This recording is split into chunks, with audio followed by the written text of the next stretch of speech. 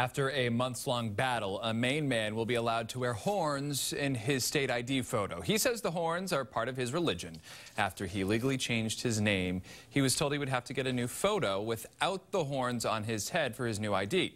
He got tired of waiting, and after going to take the picture with the horns, which are actually goat antlers attached with fishing line, the RMV agreed to take the photo.